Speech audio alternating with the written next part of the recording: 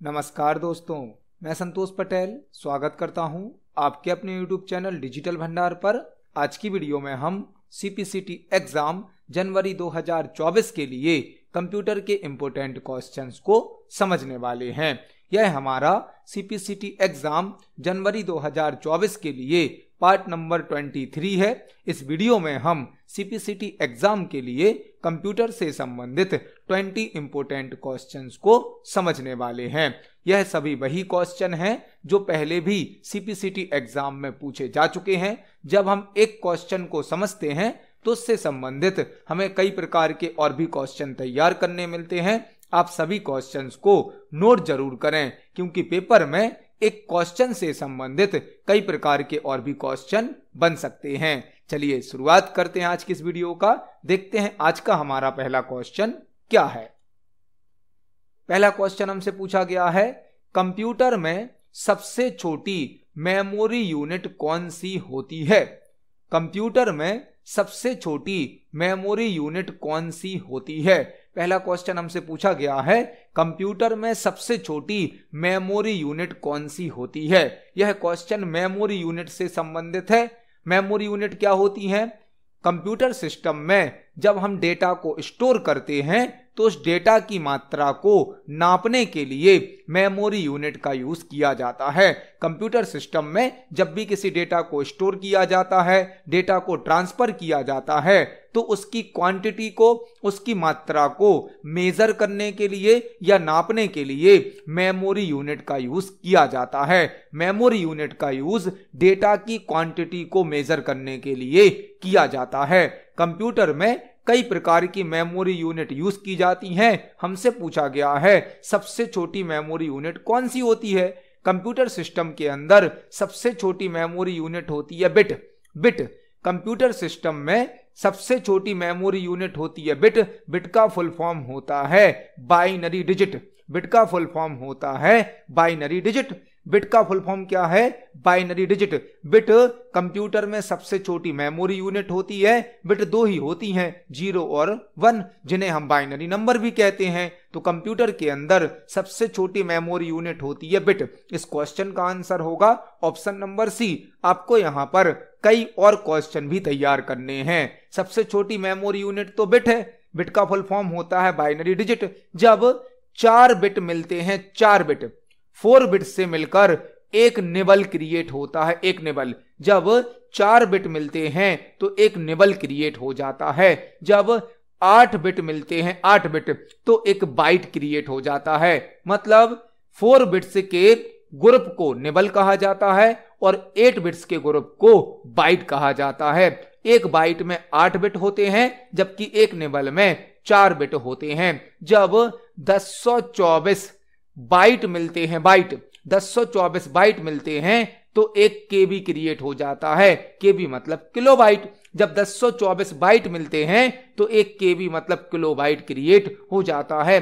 और भी memory unit होती हैं, जैसे कि एमबी मतलब मेगाबाइट जीबी मतलब गीगाबाइट टीबी मतलब टेराबाइट, इस प्रकार से कई मेमोरी यूनिट होती हैं। हमसे पूछा गया था, सबसे छोटी मेमोरी यूनिट कौन सी है? वह होती है बिट। बिट जिसका फुल फॉर्म होता है binary digit.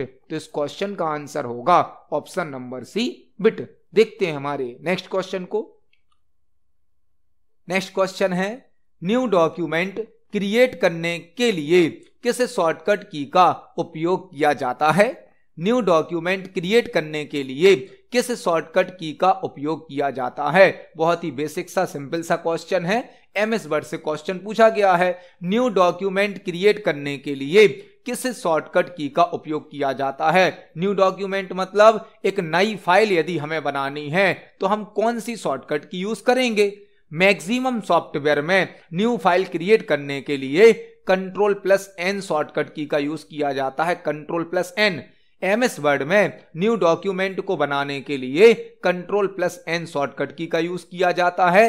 New option file menu में प्राप्त होता है। फ़ाइल मीनू में न्यू डॉक्यूमेंट मतलब एम एस वर्ड की फ़ाइल को बोला जाता है। डॉक्यूमेंट एम एस वर्ड में एक नई फ़ाइल बनाने के लिए हम कंट्रोल प्लस एन शॉर्टकट की का यूज़ करते हैं, जिससे एक नई फ़ाइल क्रिएट हो जाती है और न्यू ऑप्शन फ़ाइल मेन्यू के अंतर्गत प्राप्त होता है। कंट्रोल ओ ओपन ऑप्शन की शॉर्टकट की होती है। ओपन की control plus P print option की शॉर्टकट की होती है। Control plus K hyperlink की शॉर्टकट की होती है। Hyperlink control N new file के लिए। कंट्रोल ओ ओपन ऑप्शन के लिए। कंट्रोल पी प्रिंट ऑप्शन के लिए। और control plus K hyperlink option की शॉर्टकट की होती है। तो इस क्वेश्चन का आंसर होगा option number A control plus N देखते हैं हमारे नेक्स्ट क्वेश्चन को। नेक्स्ट क्वेश्चन है निम्न में से कौन एक मोडिफायर की का एग्ज़ाम्पल है?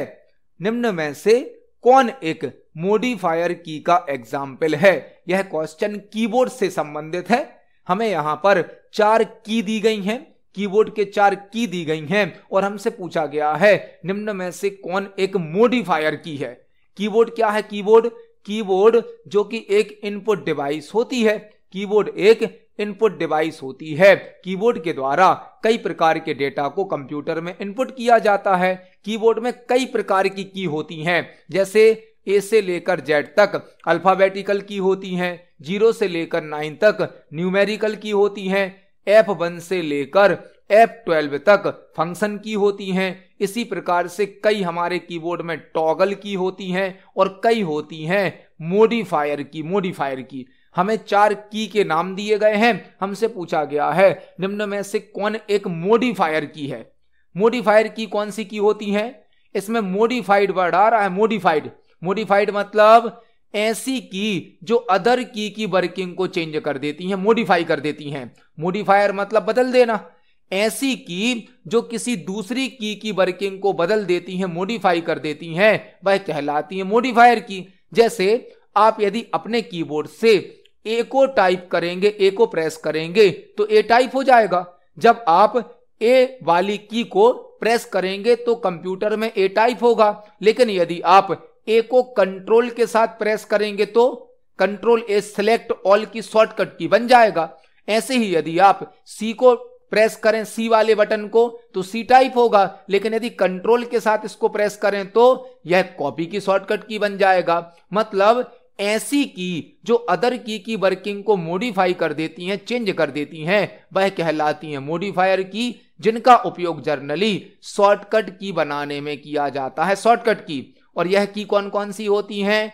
ऑल्ट की शिफ्ट की कंट्रोल की यह कहलाती हैं हमारी मॉडिफायर की। ऑल्ट की शिफ्ट की कंट्रोल की, यह मोडिफायर की होती हैं, जिनका उपयोग जर्नली शॉर्टकट की बनाने में किया जाता है। तो इस क्वेश्चन का आंसर होगा option number A alt key. Alt key shift key और कंट्रोल की मॉडिफायर की के एग्ज़ाम्पल होते हैं। तो इस क्वेश्चन का आंसर होगा ऑप्शन नंबर ए ऑल्ट की। देखते हैं हमारे नेक्स्ट क्वेश्चन को। नेक्स्ट क्वेश्चन है, निम्न में से कौन एक ग्राफिक्स फ़ाइल फॉर्मेट है? निम्न में से कौन एक ग्राफिक्स फ़ाइल फॉर्मेट है? यह क्वेश्चन फ़ाइल फॉर्मेट से संबंधित है। फ़ाइल फॉर्मेट से फ़ाइल फॉर्मेट को एक्सटेंशन भी कहा जाता है। एक्सटेंशन फ़ाइल फॉर्मेट को एक्सटेंशन भी कहा जाता है। फ़ाइल फॉर्मेट या एक्सटेंशन फ़ाइल के टाइप को रिप्रेजेंट करता है। फ़ाइल के प्रकार को बताता है।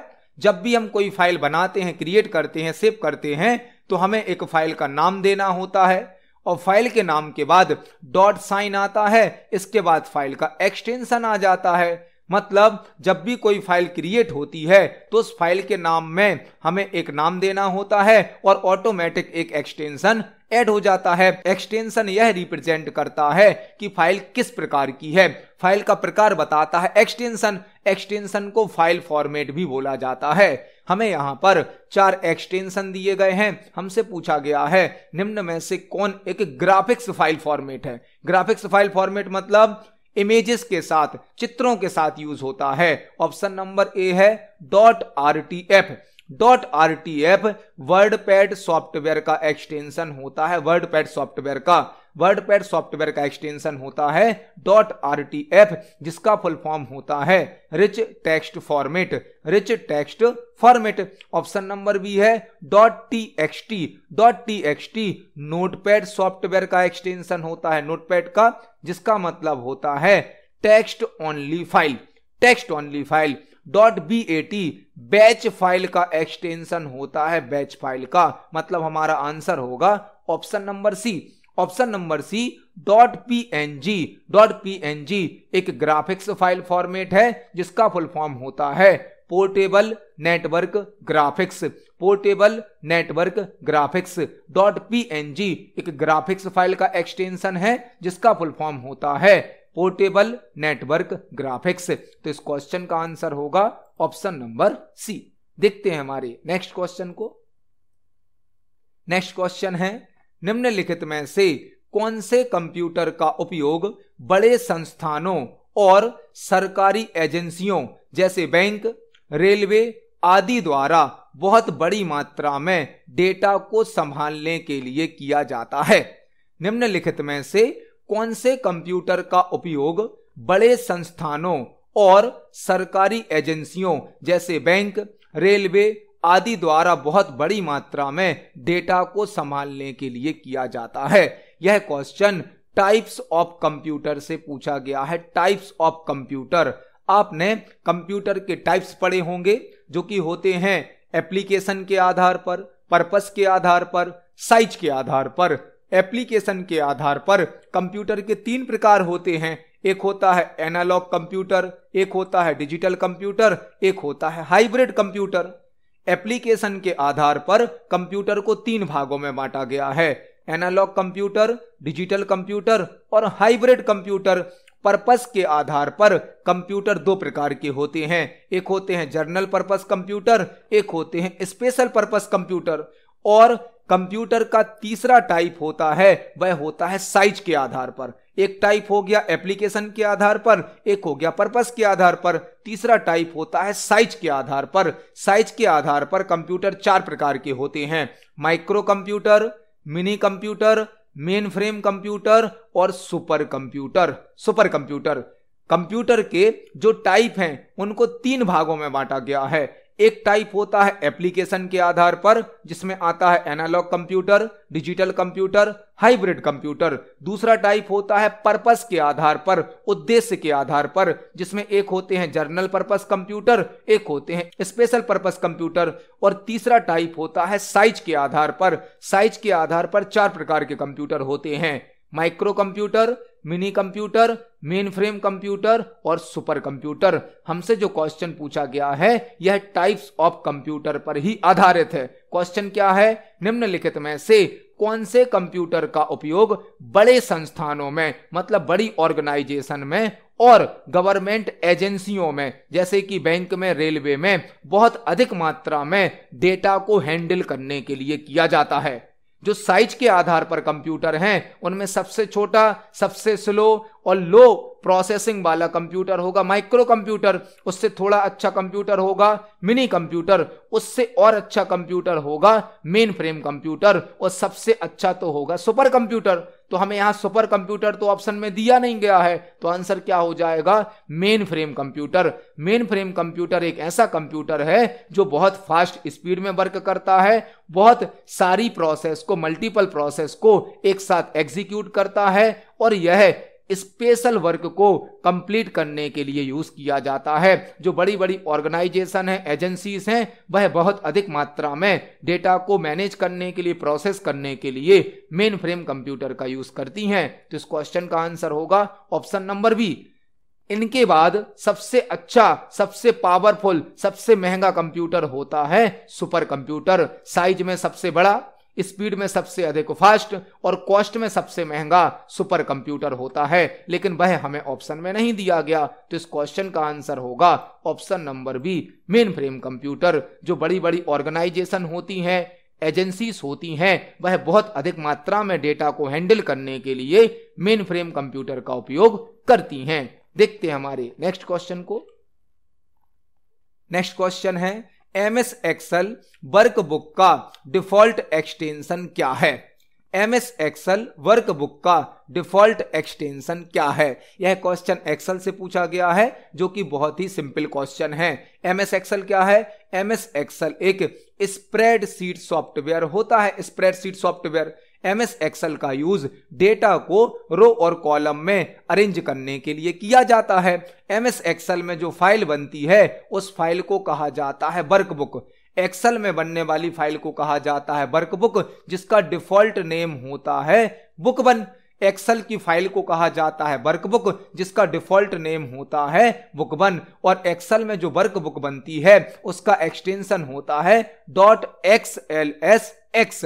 Dot X L S X M S Excel में बनने वाली फ़ाइल को वर्कबुक कहा जाता है, जिसका एक्सटेंशन होता है dot X L S X तो इस क्वेश्चन का आंसर होगा ऑप्शन नंबर डी देखते हैं हमारे नेक्स्ट क्वेश्चन को। नेक्स्ट क्वेश्चन है, निम्न में से कौन सा नॉन इंपैक्ट प्रिंटर का एक प्रकार है? निम्न में से कौन सा नॉन इंपैक्ट प्रिंटर का एक प्रकार है। यह क्वेश्चन प्रिंटर से संबंधित है। हमें चार प्रिंटर के नाम दिए गए हैं और हमसे पूछा गया है, निम्न में से कौन सा नॉन इंपैक्ट प्रिंटर का टाइप है? नॉन इंपैक्ट प्रिंटर प्रिंटर क्या है? प्रिंटर एक आउटपुट डिवाइस है, जो कि हमें हार्ड कॉपी आउटपुट प्रदान करती है। प्रिंटर एक आउटपुट डिवाइस है, जो कि हमें हार्ड कॉपी आउटपुट प्रदान करती है। प्रिंटर की दो कैटेगरी होती हैं एक होते हैं इंपैक्ट प्रिंटर एक होते हैं नॉन इंपैक्ट प्रिंटर एक होते हैं इंपैक्ट प्रिंटर एक होते हैं non impact printer impact printer वह प्रिंटर होते हैं जो प्रिंटिंग करते समय साउंड अधिक करते हैं, आवाज़ अधिक करते हैं, जबकि नॉन इंपैक्ट प्रिंटर प्रिंटिंग करते समय साउंड कम करते हैं। इंपैक्ट प्रिंटर की स्पीड स्लो होती है, जबकि नॉन इंपैक्ट प्रिंटर की स्पीड फास्ट होती है। जो इंपैक्ट प्रिंटर हैं, यह लो क्वालिटी का आउटपुट देते हैं, जबकि non impact printer high quality का आउटपुट देते हैं।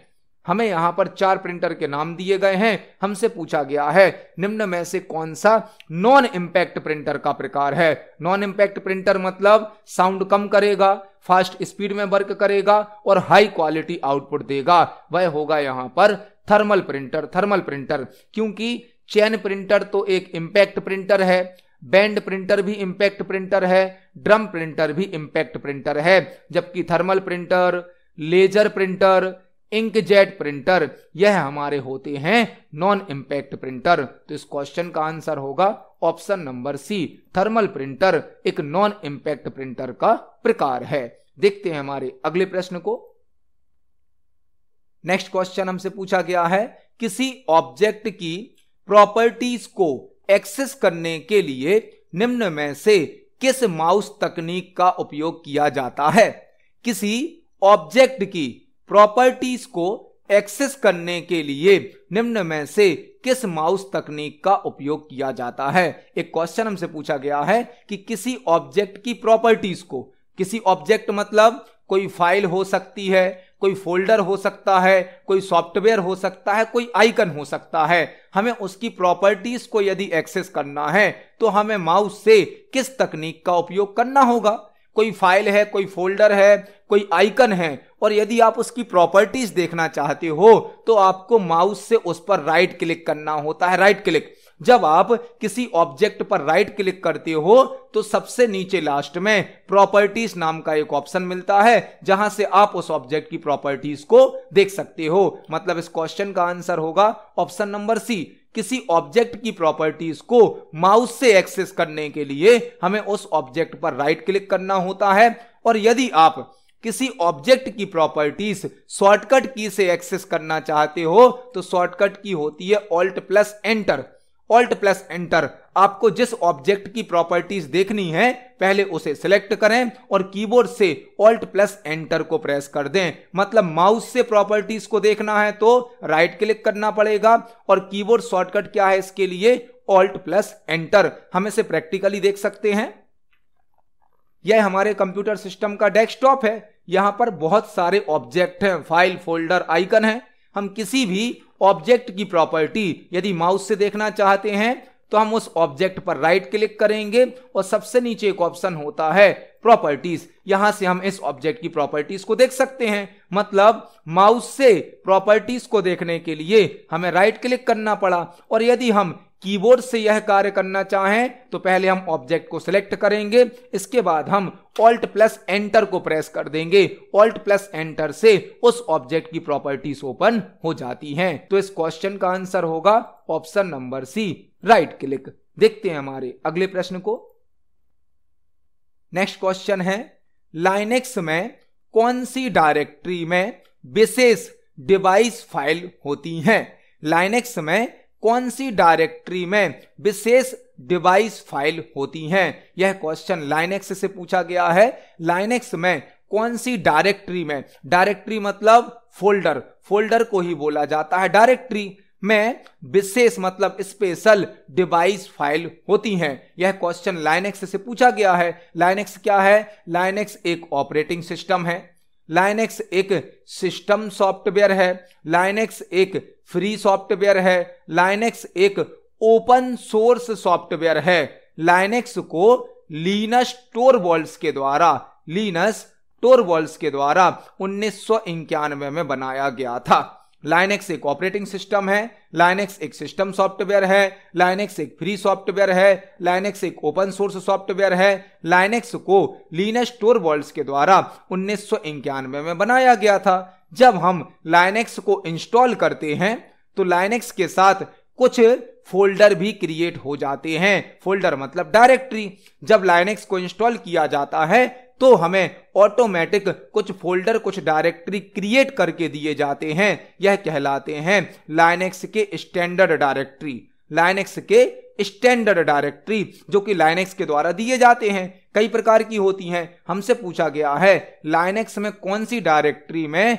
विशेष डिवाइस फ़ाइल होती हैं? यहाँ डिवाइस वर्ड आ रहा है और आप चारों ऑप्शन को ध्यान से देखें तो एक डायरेक्टरी है डेप डायरेक्टरी डेप डायरेक्टरी मतलब डिवाइस फ़ाइल को स्टोर करती है डिवाइस फ़ाइल को। मतलब इस क्वेश्चन का आंसर होगा option number B dev directory में डिवाइस फ़ाइल को स्टोर किया जाता है। जबकि यूज़र डायरेक्टरी में यूज़र प्रोग्राम को स्टोर किया जाता है टेम्प डायरेक्टरी में टेम्परेरी फाइल्स को स्टोर किया जाता है और बिन डायरेक्टरी में बाइनरी फाइल्स को एग्जीक्यूटिबल फाइल्स को स्टोर किया जाता है। तो इस क्वेश्चन का आंसर होगा option number B, dev directory. देखते हैं हमारे अगले प्रश्न को। नेक्स्ट क्वेश्चन हमसे पूछा गया है, निम्नलिखित में से कौन सा एप्लीकेशन सॉफ्टवेयर का एक उदाहरण है? निम्नलिखित में से कौन सा एप्लीकेशन सॉफ्टवेयर का एक उदाहरण है। यहाँ पर हमें चार सॉफ्टवेयर के नाम दिए गए हैं और हमसे पूछा गया है, निम्नलिखित में से कौन सा एक एप्लीकेशन सॉफ्टवेयर का उदाहरण है? सॉफ्टवेयर से संबंधित क्वेश्चन है। सॉफ्टवेयर क्या होता है? सॉफ्टवेयर सॉफ्टवेयर होता है group of instructions group of instructions मतलब कंप्यूटर को दिए गए निर्देशों के समूह को सॉफ्टवेयर कहा जाता है।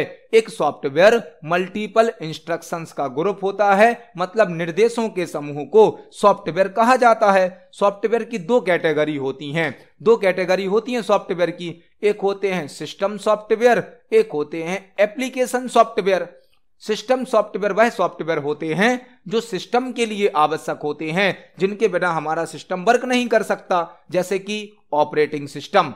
जबकि एप्लीकेशन सॉफ्टवेयर कौन से सॉफ्टवेयर हैं? वह सॉफ्टवेयर जो यूज़र की आवश्यकताओं को पूरा करते हैं या किसी फिक्स वर्क को कंप्लीट करते हैं, वह कहलाते हैं। एप्लीकेशन सॉफ्टवेयर हमें चार सॉफ्टवेयर के नाम दिए गए, हमसे पूछा गया है, निम्नलिखित में से कौन सा एप्लीकेशन सॉफ्टवेयर का उदाहरण है? यहाँ पर विंडोज़ तो एक ऑपरेटिंग सिस्टम है।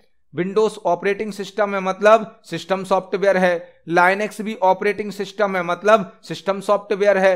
डॉस भी ऑपरेटिंग सिस्टम है मतलब यह भी सिस्टम सॉफ्टवेयर है। डॉस का फुल फॉर्म होता है disk operating system. DOS operating system है, लाइनेक्स ऑपरेटिंग सिस्टम है विंडोज़ ऑपरेटिंग सिस्टम है। मतलब आंसर होगा option number A, Tally. Tally एक एप्लीकेशन सॉफ्टवेयर का उदाहरण है, जिसका उपयोग अकाउंटिंग वर्क में किया जाता है। तो इस क्वेश्चन का आंसर होगा option number A, Tally. Tally एक एप्लीकेशन सॉफ्टवेयर का उदाहरण है। देखते हैं हमारे अगले प्रश्न को। नेक्स्ट क्वेश्चन है एम एस एक्सल में कौन सा फ़ंक्शन किसी संख्या का फैक्टोरियल देता है? एम एस एक्सल में कौन सा फ़ंक्शन किसी संख्या का फैक्टोरियल देता है? एक्सल से क्वेश्चन पूछा गया है कि एक्सल में कौन सा फ़ंक्शन किसी नंबर का फैक्टोरियल प्रदान करता है। फैक्टोरियल। एमएस एक्सल का क्वेश्चन है एम एस एक्सल में डेटा पर कैलकुलेशन करने के लिए कई प्रकार के फ़ंक्शन यूज़ किए जाते हैं। एम एस एक्सल में डेटा पर कैलकुलेशन करने के लिए कई प्रकार के फ़ंक्शन यूज़ किए जाते हैं। हमसे पूछा गया है, ऐसा कौन सा फ़ंक्शन है जिसका उपयोग फैक्टोरियल कैलकुलेट करने के लिए किया जाता है? फैक्टोरियल क्या होता है? फॉर एग्ज़ाम्पल यदि हमें पाँच का फैक्टोरियल निकालना है तो हम पाँच का फैक्टोरियल कैसे निकालेंगे? पाँच से एक कम करेंगे चार, और इसमें गुणा कर देंगे। चार से एक कम करेंगे, इसमें गुणा करेंगे। एक कम करेंगे, इसमें गुणा करेंगे। ऐसे हमें कम करते जाना है एक तक, और सभी नंबर का आपस में गुणा कर देना है। मतलब पाँच से एक कम किया चार चार से एक कम किया तीन तीन से एक कम किया दो दो से एक कम किया एक। एक तक करना है, ज़ीरो तक नहीं करना है, क्योंकि ज़ीरो में गुणा करेंगे तो सब ज़ीरो हो जाएगा। अब इनका गुणा कर देंगे तो पंचों का बीस हो जाएगा। बीस तिया साठ साठ दूनी, एक सौ बीस, एक सौ बीस हमारा। आंसर आना चाहिए। ऐसे ही मान लो हमें चार का फैक्टोरियल निकालना तो चार से एक कम करेंगे तीन तीन से एक कम करेंगे दो दो से एक कम करेंगे एक। और यहाँ पर हमारा फैक्टोरियल निकल आएगा। फैक्टोरियल निकालने के लिए एक्सल में फैक्ट नाम का फ़ंक्शन होता है फैक्ट। फैक्टोरियल को शॉर्ट में लिखा जाता है। फैक्ट मतलब एम एस एक्सल में फैक्ट नाम का फ़ंक्शन होता है, जिससे हम किसी नंबर का फैक्टोरियल निकाल सकते हैं। इसको हम प्रैक्टिकली देख सकते हैं एक्सल में। चलते हैं एक्सल पर। यह हमारा एम एस एक्सल सॉफ्टवेयर है। यदि हमें एक्सल में किसी भी नंबर का फैक्टोरियल निकालना है तो हम इक्वल के साथ फैक्ट फ़ंक्शन को टाइप करेंगे और यहाँ पर वो नंबर दे देंगे। जिस नंबर का हमें फैक्टोरियल निकालना है, हमने फैक्ट फ़ंक्शन को लगाया और नंबर दिया फाइव अब हम एंटर की को प्रेस करेंगे तो हमें फाइव का फैक्टोरियल निकाल कर दे दिया जाता है। मतलब एक्सल में फैक्टोरियल कैलकुलेट करने के लिए फैक्ट फ़ंक्शन का यूज़ किया जाता है। इस क्वेश्चन का आंसर होगा ऑप्शन नंबर सी देखते हैं हमारे अगले प्रश्न को। नेक्स्ट क्वेश्चन है निम्नलिखित में से कौन सा डिवाइस पूरे कंप्यूटर सिस्टम के लिए संचार माध्यम है और सिस्टम यूनिट में रखा गया है? निम्नलिखित में से कौन सा डिवाइस पूरे कंप्यूटर के लिए संचार माध्यम है और सिस्टम यूनिट में रखा गया है? यह क्वेश्चन हार्डवेयर से संबंधित है। हमें चार डिवाइस के नाम दिए गए हैं और हमसे पूछा गया है। निम्नलिखित में से कौन सा डिवाइस मतलब hardware part complete computer system के लिए कम्युनिकेशन मीडिया है और सिस्टम यूनिट में रखा गया है? आंसर होगा option number A motherboard motherboard हमारे कंप्यूटर का एक हार्डवेयर पार्ट होता है जो कंप्यूटर सिस्टम की सभी डिवाइसेस को आपस में कनेक्ट करता है। आपने देखा होगा हमारे कंप्यूटर के साथ एक मॉनिटर होता है। मॉनिटर के साथ हमारे पास एक बॉक्स भी होता है। इस बॉक्स को ही कहा जाता है सिस्टम यूनिट, या इसे कैबिनेट भी कहते हैं। इसके अंदर लगी होती है मदरबोर्ड। मदरबोर्ड एक प्रिंटेड सर्किट बोर्ड होता है, जिसमें कई प्रकार के स्लॉट होते हैं, कई प्रकार के पोर्ट होते हैं। मदरबोर्ड में हम रैम को लगाते हैं रोम इसमें इनबिल्ट होती है, सीपीयू मतलब प्रोसेसर को लगाते हैं और इसमें कई प्रकार के पोर्ट होते हैं जिनसे अलग अलग डिवाइसेस को कनेक्ट कर दिया जाता है। मतलब मदरबोर्ड एक ऐसी डिवाइस है जो पूरे कंप्यूटर सिस्टम के लिए कम्युनिकेशन कराता है और इसे सिस्टम यूनिट के अंदर रखा गया होता है। तो इस क्वेश्चन का आंसर होगा option number A, motherboard. RAM का फुल फॉर्म क्या होता है? Random access memory. रोम का फुल फॉर्म क्या होता है? Read only memory. तो इस क्वेश्चन का आंसर होगा ऑप्शन नंबर ए, मदरबोर्ड। देखते हैं हमारे अगले प्रश्न को। नेक्स्ट क्वेश्चन है रैम के संदर्भ में, निम्न में से कौन सा कथन गलत है? रैम के संदर्भ में, निम्न में से कौन सा कथन गलत है? हमें यहाँ पर रैम से रिलेटेड चार स्टेटमेंट दिए गए हैं और हमें बताना है कौन सा स्टेटमेंट फॉल्स है, गलत है। रैम से संबंधित क्वेश्चन है, रैम क्या है? रैम हमारे कंप्यूटर की एक प्राइमरी मेमोरी होती है, प्राइमरी मेमोरी, जिसे हम मेन मेमोरी भी कहते हैं। रैम हमारे कंप्यूटर की एक प्राइमरी मेमोरी है, जिसे मेन मेमोरी भी कहा जाता है। रैम का full form random access memory होता है। रैम का full form random access memory होता है। रैम एक बोलेटाइल मेमोरी होती है। बोलेटाइल मेमोरी मतलब अस्थाई मेमोरी होती है। रैम में डेटा को टेम्परेरी स्टोर किया जाता है। रैम एक बोलेटाइल मेमोरी है मतलब अस्थाई मेमोरी है। रैम में डेटा को टेम्परेरी स्टोर किया जाता है। जब हम किसी एप्लीकेशन को, किसी प्रोग्राम को ओपन करते हैं तो वह रैम में स्टोर हो जाता है। मतलब करंट टाइम पर सीपीयू के द्वारा जिस डेटा का यूज़ किया जा रहा होता है, वह डेटा रैम में स्टोर हो जाता है। हमें रैम से संबंधित चार स्टेटमेंट दिए गए हैं। हमें बताना है कौन सा गलत है। ऑप्शन नंबर ए क्या है? रैम सीपीयू द्वारा प्रत्यक्षतः एक्सीसीएबल है।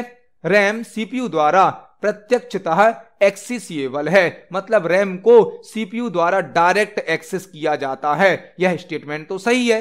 रैम एक प्राइमरी मेमोरी है और प्राइमरी मेमोरी डायरेक्ट सीपीयू से जुड़ी होती है तो यह तो सही है। ऑप्शन नंबर बी क्या है? रैम कंप्यूटर की सेकेंडरी मेमोरी का हिस्सा है।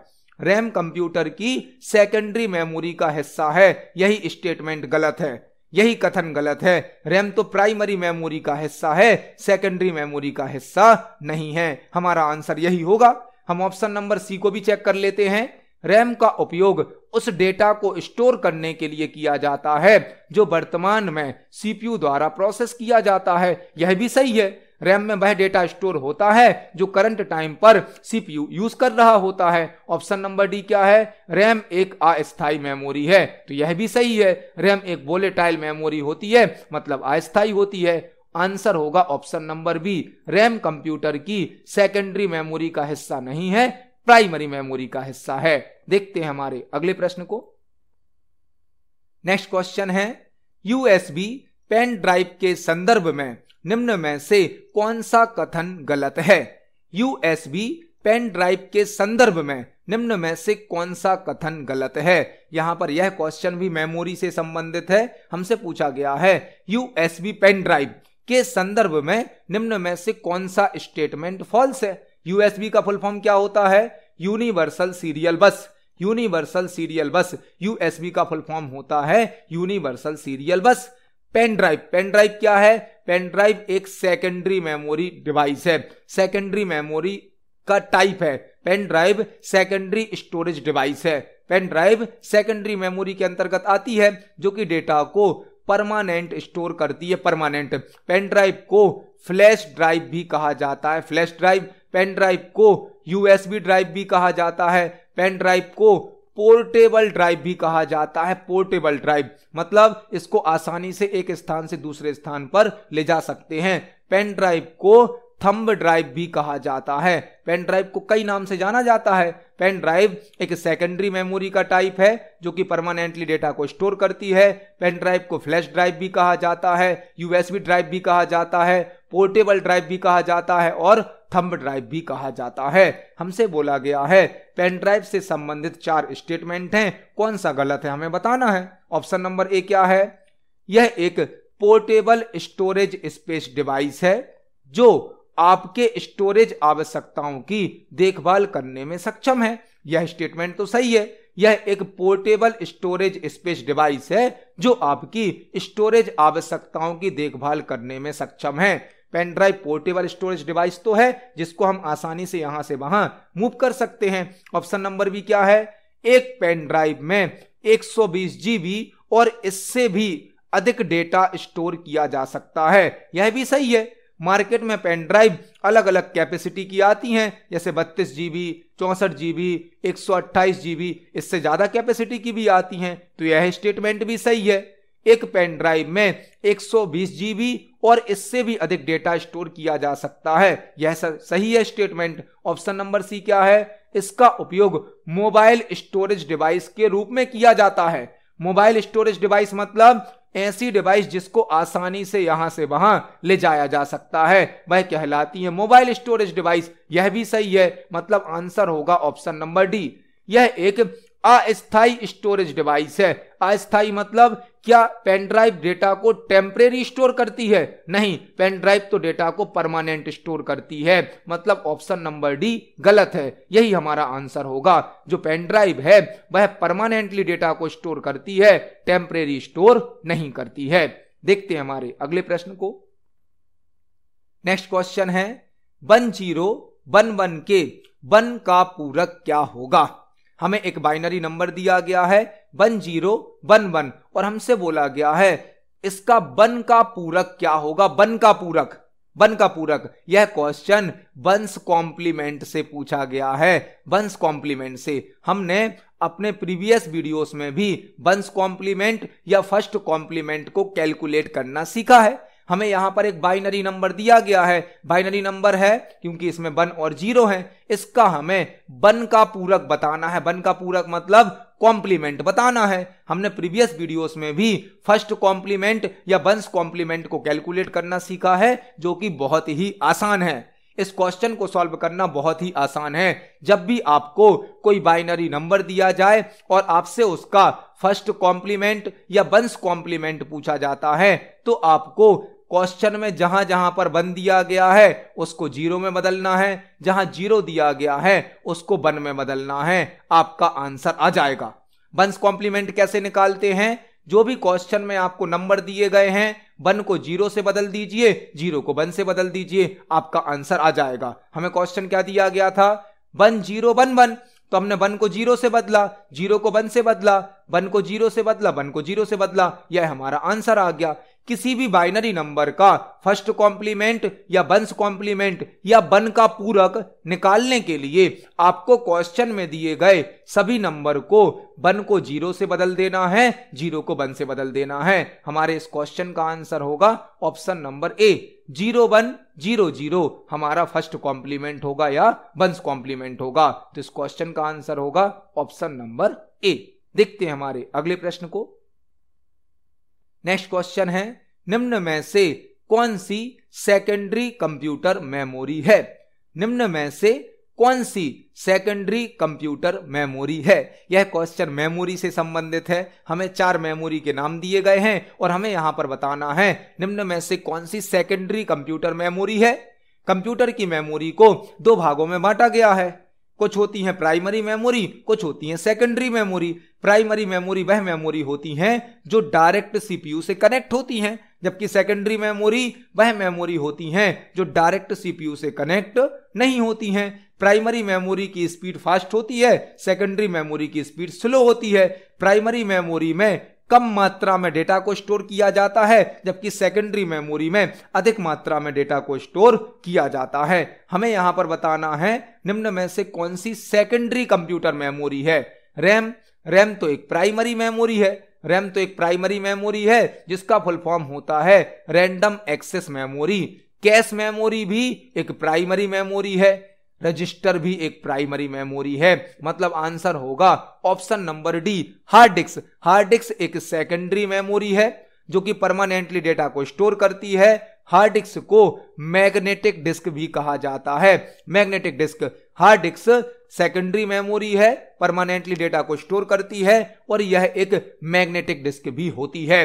रैम कैश और रजिस्टर यह तीनों ही प्राइमरी मेमोरी हैं। रैम का फुल फॉर्म होता है रैंडम एक्सेस मेमोरी रजिस्टर एक ऐसी प्राइमरी मेमोरी है जो कि कंप्यूटर में सबसे छोटी और सबसे फास्ट मेमोरी होती है। तो इस क्वेश्चन का आंसर होगा option number D hard disk देखते हैं हमारे अगले प्रश्न को।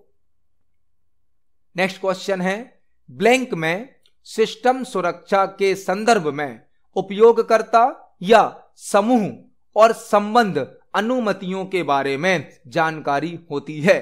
ब्लैंक में सिस्टम सुरक्षा के संदर्भ में उपयोगकर्ता या समूह और संबंध अनुमतियों के बारे में जानकारी होती है। हमसे क्वेश्चन पूछा गया है ब्लैंक में सिस्टम सिक्योरिटी के रेफरेंस में यूज़र्स या ग्रुप और रिलेटेड परमिशन के बारे में इंफॉर्मेशन होती है। यह क्वेश्चन एक्सेस कंट्रोल सिस्टम से पूछा गया है।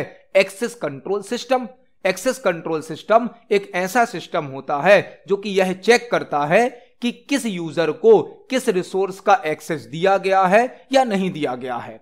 मतलब कोई यूज़र किस रिसोर्स को एक्सेस कर सकता है या नहीं कर सकता है, यह चेक करने के लिए एक्सेस कंट्रोल सिस्टम का यूज़ किया जाता है। एक्सेस कंट्रोल सिस्टम यह डिसाइड करता है, यह चेक करता है कि किस यूज़र को, किस रिसोर्स को एक्सेस करने की परमिशन दी गई है। और एक्सेस कंट्रोल सिस्टम में एक एंट्री होती है, access control entry. Access control entry, जिसमें यह जानकारी होती है कि किस यूज़र को या किस ग्रुप को किस रिसोर्स का एक्सेस या परमिशन दिया गया है। मतलब इस क्वेश्चन का आंसर क्या होगा? Option number B, access control entry में सिस्टम सुरक्षा के संदर्भ में उपयोगकर्ता या समूह और संबंध अनुमतियों के बारे में जानकारी होती है। एक्सेस कंट्रोल सिस्टम में एक्सेस कंट्रोल की एक एंट्री होती है, जिसमें यह जानकारी होती है कि किस यूज़र को या किस ग्रुप को किस रिसोर्स का एक्सेस दिया गया है या नहीं दिया गया है। तो इस क्वेश्चन का आंसर होगा ऑप्शन नंबर बी।